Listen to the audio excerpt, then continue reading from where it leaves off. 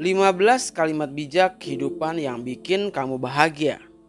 Ripto menulis, 15 kalimat bijak yang bikin bahagia adalah sebuah ungkapan kekaguman yang penuh syukur pada Sang Pencipta atas anugerahnya yang agung, yang telah membuat keindahan alam semesta ini.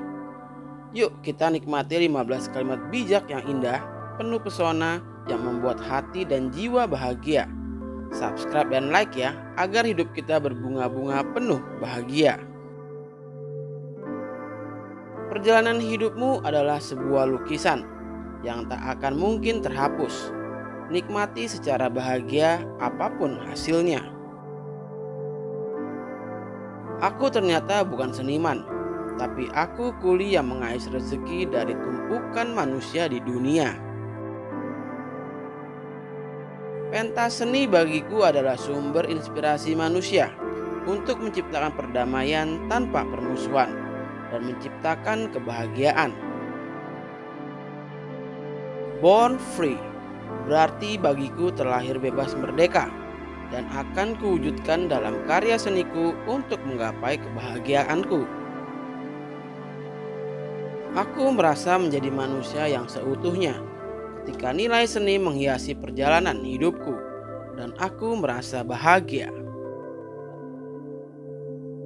Aku akan melukis dunia dengan cinta, informasi, edukasi, dan hiburan penggairah hatiku yang membuatku bahagia.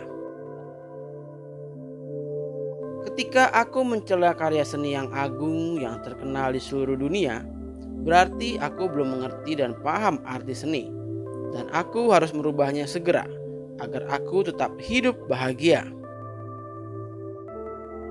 Seniman hanya akan menghasilkan keindahan yang bermakna tanpa menimbulkan persepsi negatif yang buruk. Ikuti pandangan hidupnya agar kamu bahagia. Apa aku sudah gila ketika aku sedang berpikir untuk merubah hal yang tidak mungkin menjadi mungkin? Karena dapat merubahnya akan membuatku bahagia. Bila perasaanmu tidak kamu wujudkan dalam karya senimu, dia akan hilang. Dan bila perasaanmu kamu tuangkan dalam karya senimu dan kamu lakukan berulang-ulang, kamu adalah seniman yang berbahagia.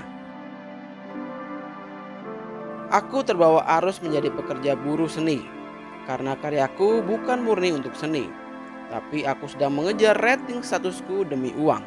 Apa pun itu, aku ingin bahagia. Aku tidak tahu dari mana datangnya persepsiku. Yang ku tahu, persepsiku adalah dasar dari tindakanku. Bila kamu amati grafik karyamu, kegagalan pada awalnya pasti tinggi dan kemudian menurun seiring dengan berjalannya waktu dan tanpa gagal di ujungnya dan di sinilah saat puncak bahagia. Dulu aku hanya bisa sambung rasa ketika aku jauh. Kini aku bisa sambung mata walaupun di luar batas jarak pandangku. Itu pun telah bisa membuat aku bahagia.